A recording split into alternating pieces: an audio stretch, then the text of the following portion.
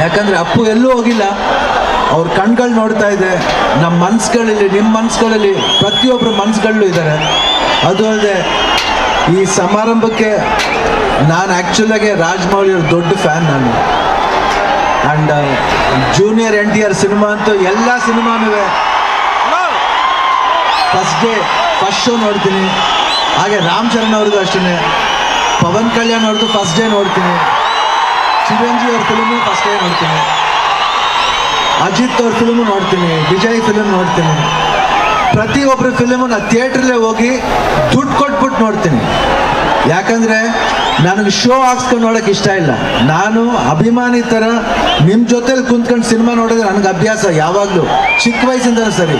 ಇವಾಗ ಆ್ಯಕ್ಟ್ರ್ ಆದಮೇಲೂ ನಾನು first day Bahubali ನೋಡ್ಬಿಟ್ಟು ರಾಜಮೌಳಿ ಸರ್ಗೆ ಫೋನ್ ಮಾಡಿ ಹೇಳಿದೆ, ಎಷ್ಟು ಒಳ್ಳೆ ಸಿನಿಮಾ ತೆಗೆದಿರ ಸರ್ ನಮಗೆ ತುಂಬ ಹೆಮ್ಮೆ ಅನಿಸುತ್ತೆ. ನಮ್ಮ ಒಂದು ಸೌತ್ ಇಂಡಿಯಾಲಿಂದ ಒಂದು ಇಂಡಿಯನ್ ಲೆವೆಲ್ ಇಂಟರ್ನ್ಯಾಷನಲ್ ಲೆವೆಲ್ಲಿ ಮಾತಾಡುವಂಥ ಒಂದು ಡೈರೆಕ್ಟರ್ ಬಂದರು ಅಂತ ನಮಗೆ ಭಾಳ ಹೆಮ್ಮೆ.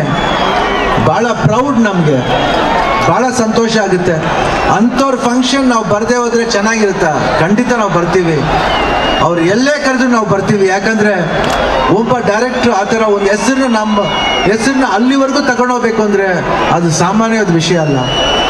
ಅದು ಅಲ್ಲದೆ ಎಲ್ಲ ಜಾಗದಲ್ಲೂ ಈ ರೈವಲರಿ ಇರುತ್ತೆ. ಅವ್ರ ಫ್ಯಾನ್ಸು ಇವ್ರ ಫ್ಯಾನ್ಸು ಅಂತ ಅದನ್ನೆಲ್ಲ ಬ್ರೇಕ್ ಮಾಡಿ ರಾಮ್ ಚರಣ್ ಜೋನಿ ಎನ್ ಆರ್ ಇವತ್ತು ಒಟ್ಟಿಗೆ ನಿಂತಿದ್ದಾರೆ. ನಮಗೆ ನಿಜವಾಗ್ಲೂ ಎನ್ ಟಿ ರಾಮರಾವ್ ಬೇರೆ ಅಲ್ಲ, ಚಿರಂಜೀವಿ ಅವ್ರು ಬೇರೆ ಅಲ್ಲ, ನಾಗೇಶ್ವರ ಅವ್ರು ಬೇರೆ ಅಲ್ಲ.